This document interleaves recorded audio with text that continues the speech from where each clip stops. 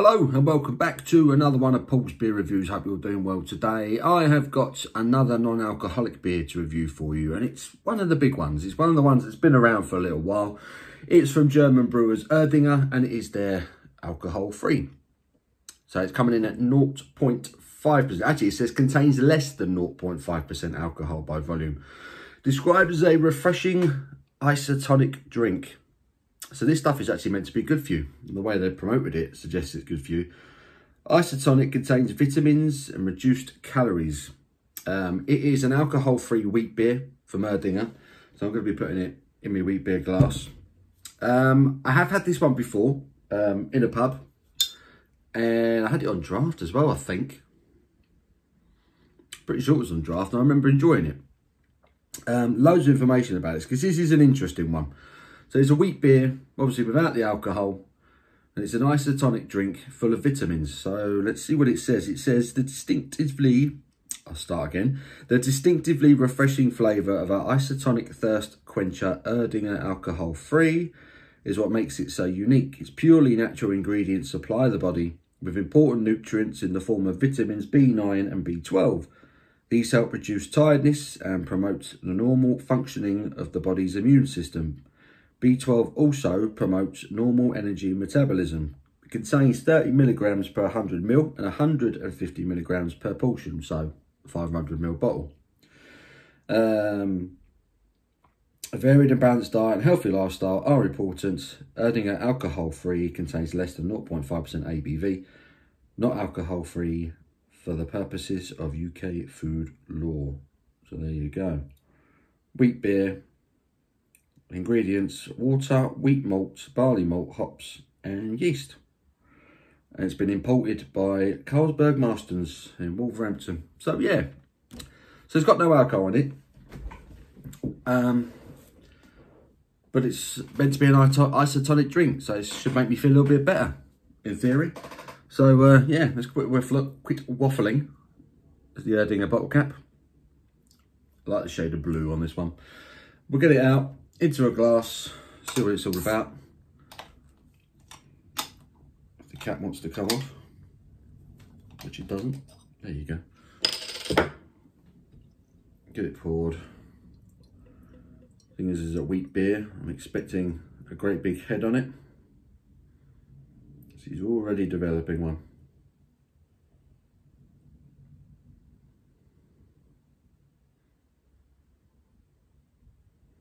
Look at that. Certainly looks the part. Chop it up. Oh, yes. Get that there so we can see it. The Erdinger Alcohol Fry, as they pronounce it in Germany. But there it is. Hazy as you like. Really well carbonated. Straight away got a carbonation chill on the glass, but look at the carbonation rushing up through that. It looks like Erdinger. It looks like your standard rather than mill Weizen. Beautiful, thick, creamy, two finger, just over two finger, tight white head, beautiful golden colour, masses of carbonation. It looks wonderful. It looks cracking. It looks like a Weizen. Let's get me snouting, see what the aroma's telling us.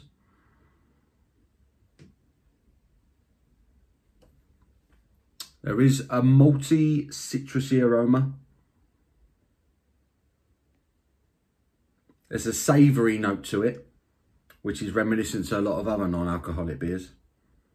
It's fruity, not just citrus fruit, almost like a berry fruit to it.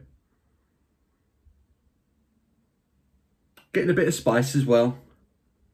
There's there's touches of a German wheat beer in there but there's that savoury note that is definitely sort of the non-alcoholic thing. But all in all, it smells okay. Let's get stuck in. Cheers.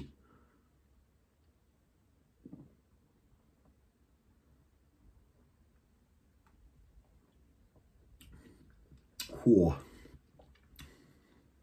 That's really well carbonated. That is um, quite a crisp, light-bodied, quite a heavy fizz. it's kind of the mouthfeel is more like a um, an energy drink. As soon as it's an isotonic drink, that mouthfeel, that fizz on the palate is kind of reminiscent of a, of a Lucozade or something like that, you know?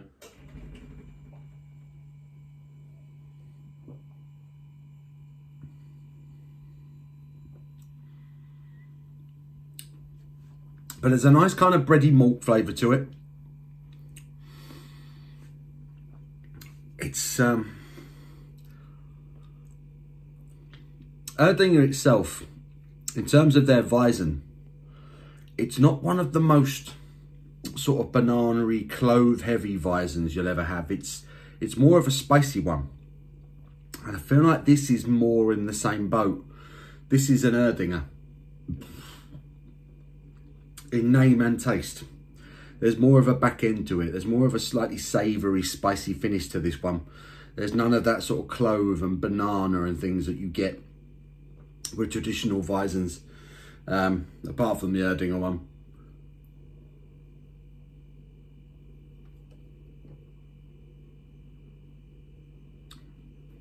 Touch of sweetness on arrival.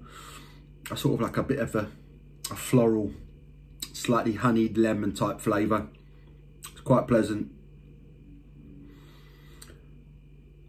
And then there's that touch of savoury note slightly bready malt sort of uh, mid palate. And carbonation is really quite considerable. That rush, that fizz you get when you first sip on it. It's quite strong.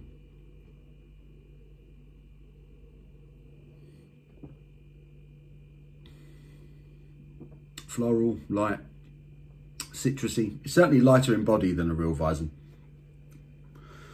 Definitely lighter, definitely thinner do you know what? It's very drinkable. I'm actually kind of enjoying it. Um, I think it's important to try not to compare this to Erdinger Weiss beer. It's a completely different animal. Apart from that slight, that slight touch of sort of drying spiciness at the back end to it, that is reminiscent of the original. But other than that, these are completely two different beers. It's lighter, than a real Weizen. It's thinner, it's more carbonated.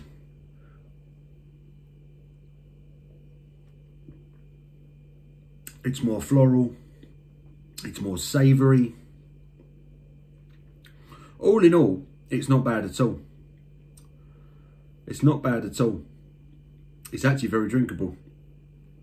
Um, but there is that that savoury note that is quite pronounced on this that it, it reminds me anyway that it's a non-alcoholic beer. Um, if you haven't had too many non-alcoholic beers, you might not be familiar with that yet. But as you try a few, you'll probably identify it. If you haven't, I would I would recommend this to have a go on if you haven't already. Um, excuse me, because it is drinkable. It is quite pleasant. Looks nice if you give it in a proper glass. You get that in an Erdinger glass, no one's going to know.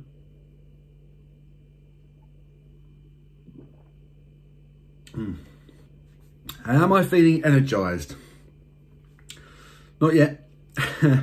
Not yet. Patch of up. I mean, look, I'm, I've nearly polished that off already. It's decent. It's decent. It's another solid non-alcoholic beer. There are a few that are absolute dogs that you shouldn't touch. Um, but this is a good one. This is a good one. This is very refreshing. Does the job. It tastes like beer. It's slightly more savoury than the normal Erdinger. Um, but all in all, that's not too bad at all. Um, I would definitely drink that again. I would buy that again. I think I paid £1.50 for the bottle. Um, when you think the norm wording of Weizen is 180 so you're saving a few pence. At least I can get in the car and go for a drive still, which is always a bonus. Um, I'm going to give that 8 out of 10. I quite enjoy it. Erdinger, their alcohol free. 8 out of 10 for me. Leave your comments below. Let me know what you thought of this one if you've had it. Please give the video a thumbs up if you've enjoyed it. I do appreciate it. Till my next one, you take care.